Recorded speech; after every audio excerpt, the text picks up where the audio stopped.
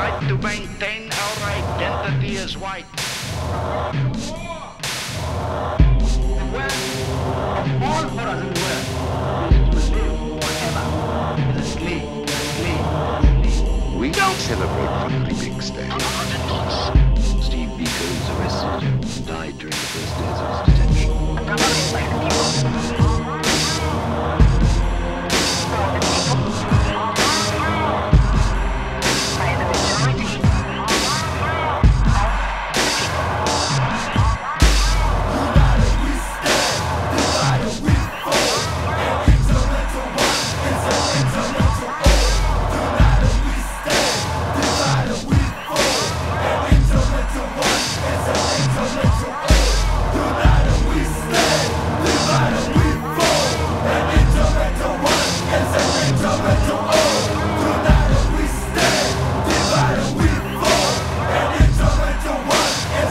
Don't let